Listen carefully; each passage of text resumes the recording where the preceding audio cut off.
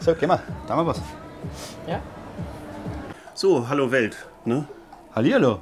Herzlich willkommen bei uns am Bratort. Wir sind die Grillinspektoren und wollen euch sagen, wie wir so grillen. Ich bin der Daniel. Christian, Und schön, ich, dass ihr dabei seid. Oh ja, Genau. oh ja. Und ich bin über 20 Jahre grillverliebt und wir machen jetzt eine Hühnerbrust mit einem Spargelsalat, einem Zitronenpfeffer und einem gebratenen grünen Spargel.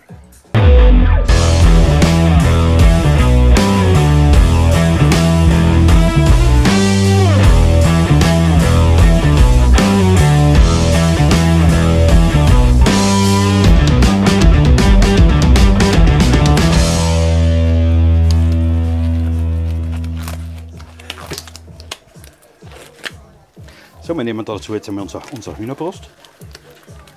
Und damit einmal würzen mit Salz.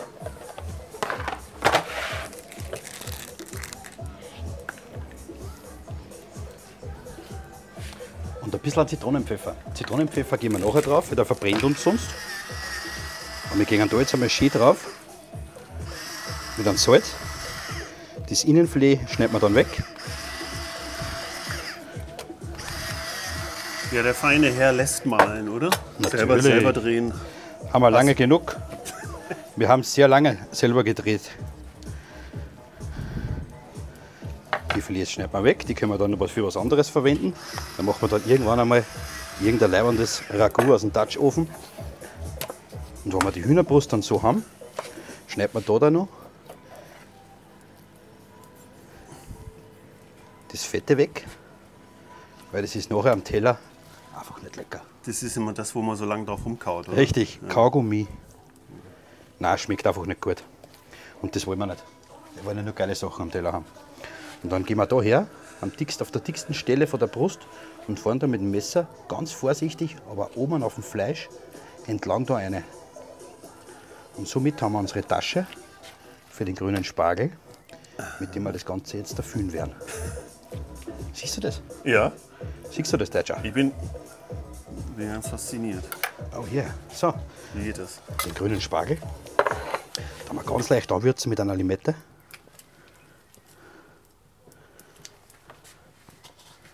Ein bisschen groben Meersalz, dass es nicht so schnell aufgeht. Das normale Salz saugt sich sofort ins Fleisch rein und das braucht ein bisschen, bis, das, ähm, bis sich das auflöst. Das geht meistens so bei 80, 90 Grad.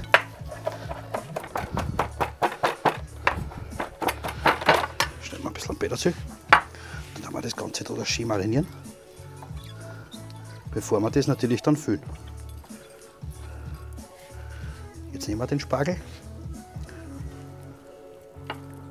und gehen mit dem Spargel schön vorsichtig. Vorsichtig ist gut, gell? Jetzt. In die Hühnerbrust rein. Der Spargel ist ganz leicht vorblanchiert. Das heißt, der ist ein bisschen angekocht worden, circa eine Minuten.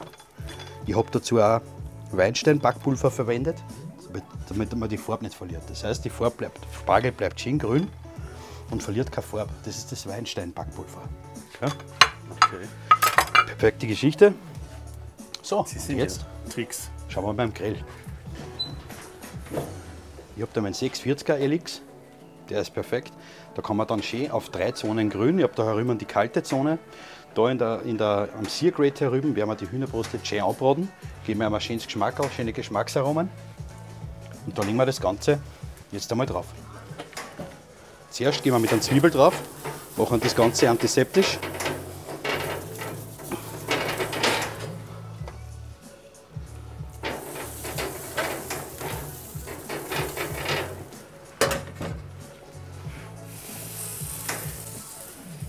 Legen wir die Hühnerbrust schön auf unser Seargrate drauf.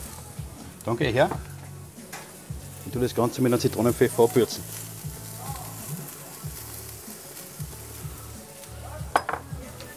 Und jetzt lassen wir das da um zwei Minuten liegen.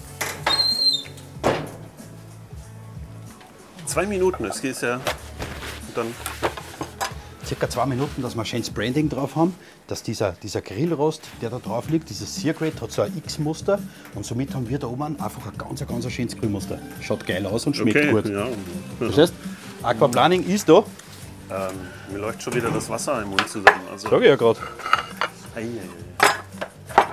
So, meine Lieben, jetzt tun wir dann gleich weiter.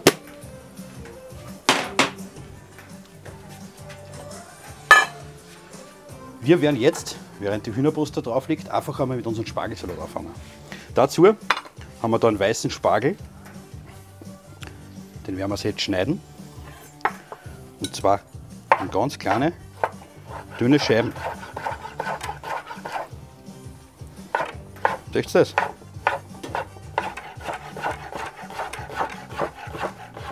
Die Spargelspitzen lassen wir sie über. Das Ganze machen wir von drei Spargel in weiß von drei Spargel in grün. Den grünen Spargel kann man vorkochen. Ich habe das Ganze auch gemacht. Ich habe ihn leicht anblanchiert. Wie ich vorher gerade gesagt habe, ein bisschen Weinsteinbackpulver und der, der, grün, der, weiße, der weiße, der gelbe Spargel ist einfach nur ganz normal angekocht worden mit ein bisschen Salz, ein bisschen Zucker. Einfach drei Minuten circa ein bisschen köcheln lassen. Dann ist er so leicht knackig, hat einen schönen Biss. Ja? Und der Spargel wird erst ab, dem, aus, ab diesem, da schaut's her, circa ab da wird der Spargel geschält. Unten werden ca. 2 cm weggeschnitten oder 1 cm kommt immer auf die Frische vom Spargel an. Wir haben eine super Qualität gehabt. Und da, das wollte ich grad da sagen. möchte ich einmal kurz Danke sagen an einen Kana Alex. Den stellen wir euch nur vor. Der hat eine so eine so super geile Firma, das ist die da. Oder die da. Oder die da. Oder die da. Oder die da. Ist es die da? Ja, meistens da. ist sie nie da. Ja, genau. Ja, auf jeden Fall, den stellen wir euch nur vor. Das ist der, der uns immer die super Qualität daher bringt. Das möchte ich ganz klar sagen. Also ohne Alex ähm, wird es ganz schön unfrisch vom Gemüse her. Das ist, glaube ich, eh das Wichtigste beim Kochen, irgendwie, dass man eine gescheite Qualität hat. Ist ne? richtig, absolut. Also ohne Qualität geht gar nichts und das ist für uns natürlich das Wichtigste. Umso besser Qualität das du hast, umso mehr taugt es. So, wir gehen jetzt einmal her und dann den Spargel mit ein bisschen Limettensaft anwürzen. Ein bisschen gemahlenes Maldonsalz. Was für ein Salz ist das? Maldonsalz. Maldonsalz. Maldonsalz sind Salzkristalle, die glasiert sind und diese bei 80, 90 Grad erst dann am Grill gut auflösen. Ist ein ziemlich gutes Salz, weil wenn man das jetzt zum Beispiel einwürzt, wir haben es jetzt beim Händel haben wir es jetzt ein bisschen ganz leicht nur eingewürzt damit, mit, mit feinen, mit Chilisalz. So bleibt es natürlich auch viel weniger kleben am Grill. Okay. Also Salz ist scheinbar auch eine Wissenschaft für sich, nicht wahr? Also da gibt es ja diese unterschiedlichsten Salze. Ja, natürlich, natürlich. Das finde ich aber super. Ich finde super, dass es so viel Salze gibt. Es gibt natürlich Salze, die kein Mensch braucht. Aber natürlich, ähm, wie das halt überall so ist. Gell? So, dann schauen wir mal zu unserem Griller. Wie es der Händelbrust geht.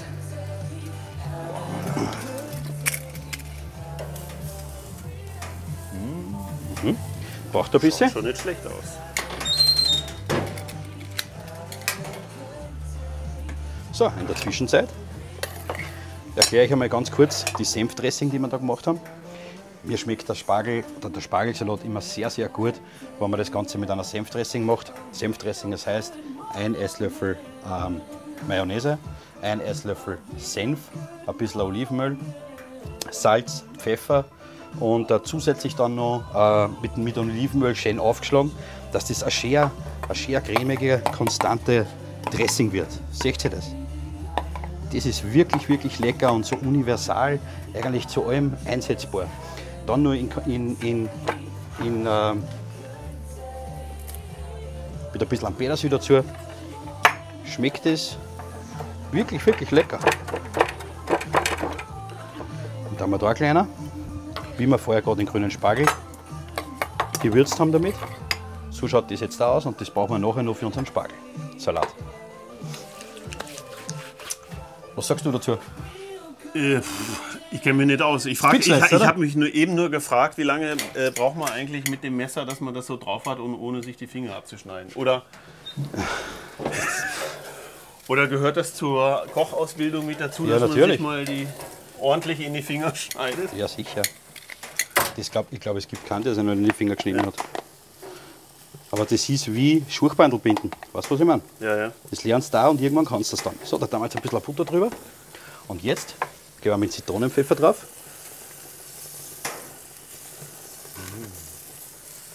Da kriegt der Spargel schon eine schöne Farbe, seht ihr das da? Aber er ist trotzdem nur schön grün, weil wir eben das Weinstein-Backpulver genommen haben.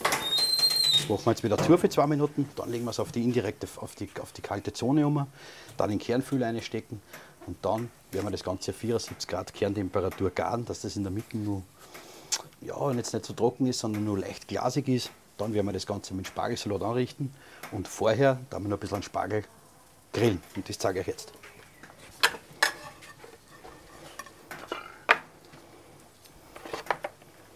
Ich habe da so ein super schönes Geschirr von meiner Tochter. Da tun wir den Spargel in der Mitte auseinanderschneiden.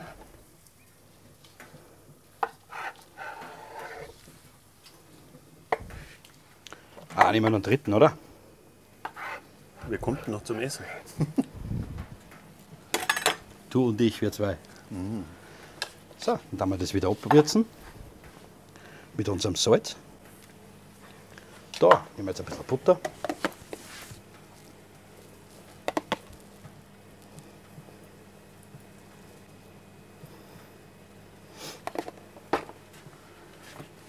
Gibt es dann ein bisschen Pfeffer drauf.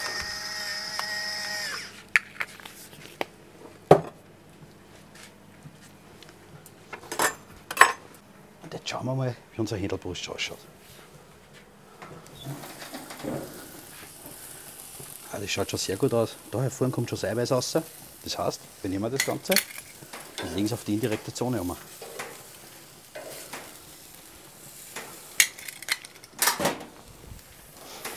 Kerntemperaturfüller steckt man schön da rein. Schön im Verlauf vom Spargel in das dicke Fleisch rein. Und dann ziehen wir uns das auf 74 Grad.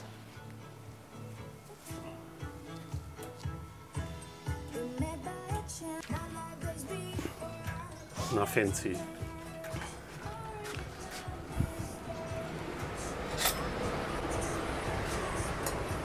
So, liebe Grillfreunde, jetzt haben wir da weiter. Jetzt nehmen wir den Spargel.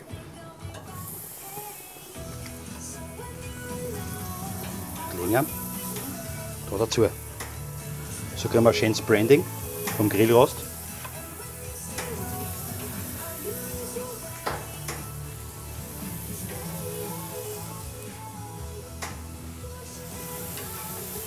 Und durch das Branding natürlich einen super guten Geschmack.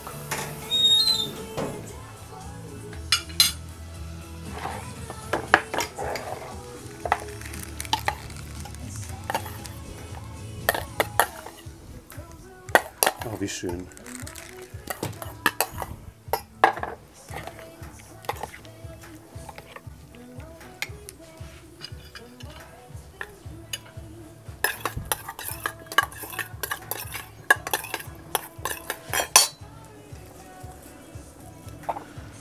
Schnittlauchblüten da wir da noch drauf.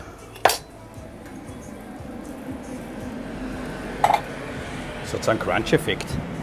So Schnittlauchblüten. Wir haben halt das große Glück, dass wir sowas im Gartel haben.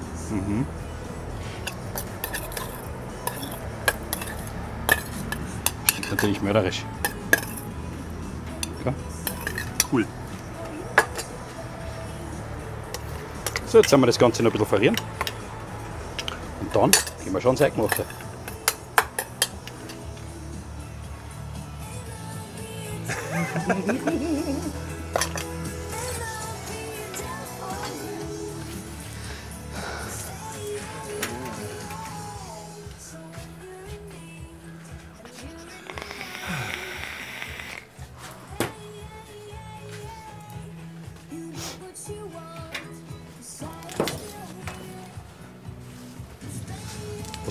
Was wir vielleicht noch kurz, Grillverliebt, ne? was wir vielleicht noch kurz erzählen sollten, den Grill haben wir uns auf 250 Grad aufgekratzt. Das heißt, wir haben Innenraum Gartemperatur herum, am Kerntemperatur, am Thermometer haben wir ca. 230, 200, 250 Grad. Das ist eigentlich eine super optimale Temperatur am Grillrost, dass man die schönen Grillstreifen kriegt. Gell? Da herüben wo das Händel jetzt gerade liegt, kann es ruhen und kann es ganz langsam und ganz geschmeidig auf die Kerntemperatur ziehen. Das ist total wichtig, dass das Händel schön saftig bleibt. Saftig. Also ich bin ein grillverliebt. bisschen Du auch? ich, äh, verliebt auf jeden Fall. Grillverliebt? Ja, natürlich. Also wenn ich den Grill schon sehe, da. Hm, hm, ja. Da, da kannst du alles machen drauf. Aber das werden wir natürlich auch noch machen. Also wir werden, wir werden die, die Breite total ausnutzen. Schauen wir mal, Ich glaube, ne? den schranzen wir nachher noch am Griller, oder? ha? So, jetzt schauen wir da mal.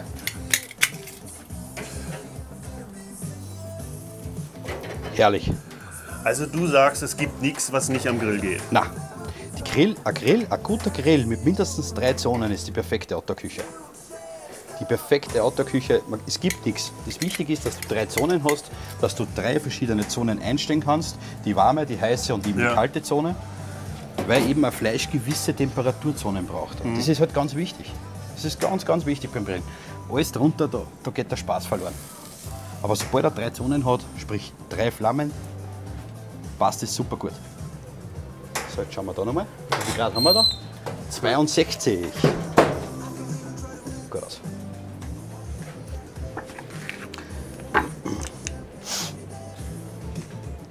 Dann werden wir uns einmal ein Tellerchen nehmen. Genauer gesagt, Bier. Bier. Wer hat da sein Bier stehen gelassen? Also wirklich. Schleichwerbung. Danke, Alex. So, dazu werden wir heute. Ich, hab dort, ich, ich mag das so gern, wenn man ein bisschen Soßen hat oder so ein bisschen Cremes dazu hat. Ich habe mich heute für eine, Variante, für eine Variante entschieden, die zum Händel einfach super passt, zum Spargelsalat super passt. Das ist halt einfach einmal die Barbecue-Sauce, die immer geht, oder? Barbecue-Sauce. Barbecue-Soße gehört zum Grillen dazu. Geht immer, ne? Das oder? muss man, ja. Ja, man soll nicht übertreiben, aber geht immer. Immer. Oh ja. Also Barbecue-Sauce, selbst gemacht. Vielleicht machen wir gemeinsam mal Barbecue-Sauce. Vielleicht. Aber äh, der, der Bundesdeutsche braucht auf die Currywurst. Curry ne? Ketchup. Okay, äh, back to der Kräutersauce, Kräutercreme. Da haben wir Kräutercreme gemacht. Da drinnen ist Basilikum, da drinnen ist Petersil, da drinnen ist ein bisschen Rad- Radieschenabrieb. Das Ganze ist ein bisschen weich gekocht worden, eben in einem siedenden Wasser. Dann ist das ganz fein püriert worden mit Mayonnaise und Olivenöl aufgerührt und dann durch ein Sieb gestrichen, dass wir es wirklich ganz fein haben. So haben wir die Schärfe vom Radieschen drinnen, den mega Geschmack von den Kräutern und die Mayonnaise macht so ein bisschen sämig. Was ich einfach super finde, weil eben die verschiedenen Texturen vom Spargelsalat, wo man was Knackiges drinnen hat, die Hühnerbrust, die schön am Punkt, ganz weich gegart ist, aber da noch schön saftig und dann noch so eine tonangebende Basilikum-Kräutersauce, das ist echt eine feine Sache. Und ich mag das voll und so werden wir heute auch richten.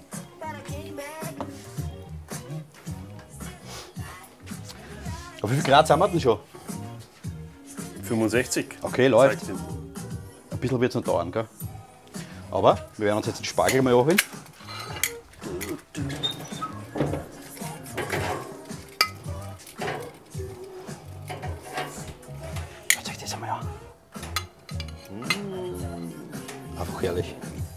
Einfach.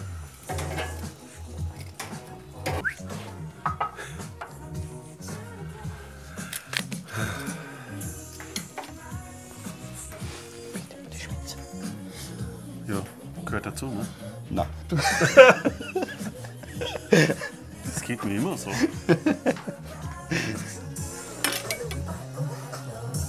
wenn ihr euch das einmal anschaut, violette Kresse, Shiso-Kresse, kostet mal Kresse.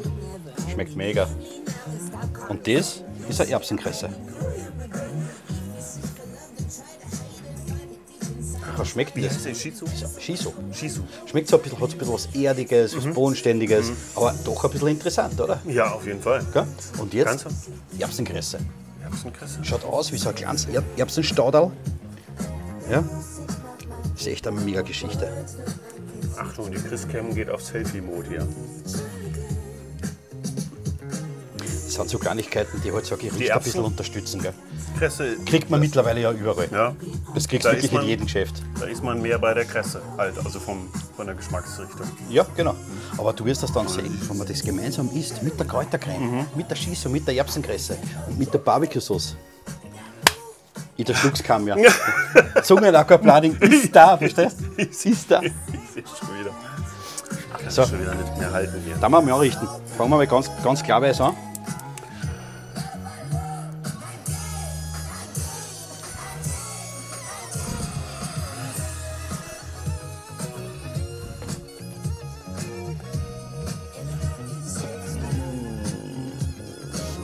Das Sternbild des Daniel.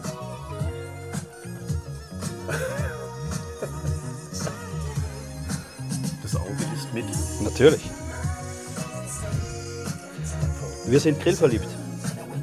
Das ist immer ganz wichtig. Sogar meine Tochter, für meine Tochter ist schon ganz wichtig, dass das immer schön angerichtet ist. Ja gut, sei das sorglich ist wegen dem Papa.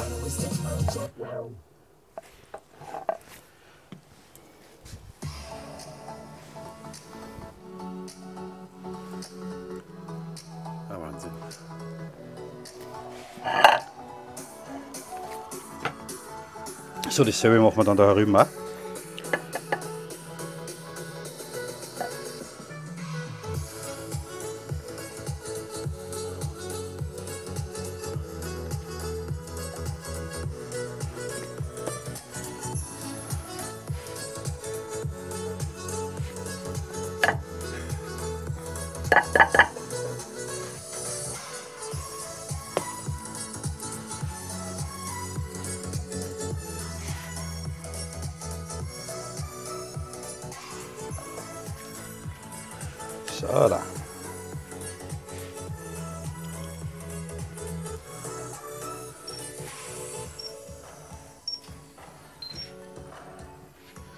So, das Händel ist fertig. What a timing.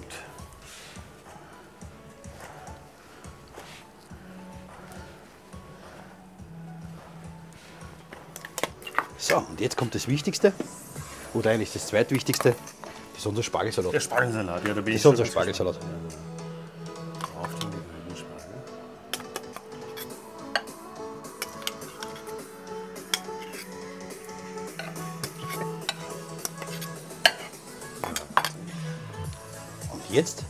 Kommt das Händel. Kerntemperaturfühler nehmen wir raus. Mega. Den tun wir da wärm Warteplatz. Dann ziehen wir das Händel noch ein wenig an. Dann gehen wir gleich daher. Tun es gleich mal ein bisschen aufschneiden. Die Geschichte. Was glaubst du, wie schaut es Ihnen aus? Christian? Soll es ausschauen? Also ich schätze mal, so wie ich dich kenne, schaut es perfekt aus. Lecker! Lecker! Lecker!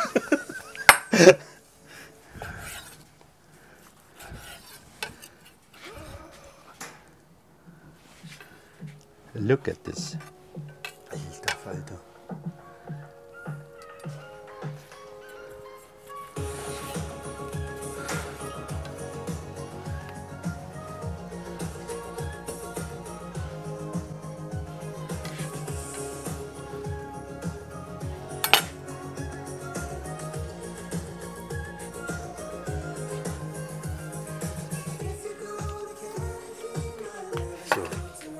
Irgendwer auf die Uhr geschaut?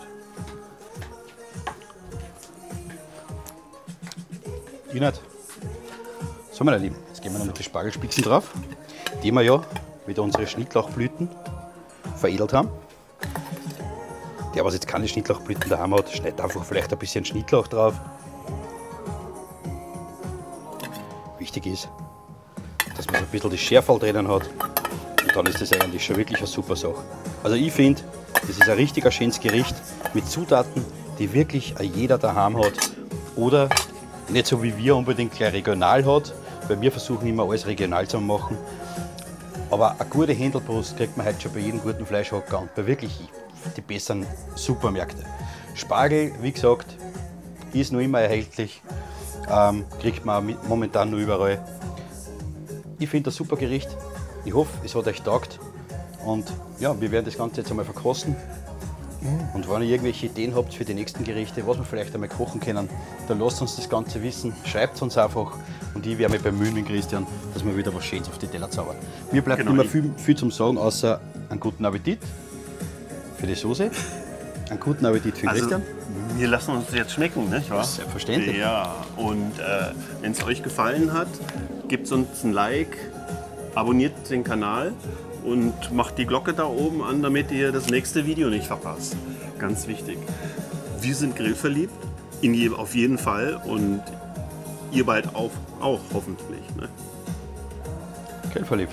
Bis bald, meine Lieben. Ciao!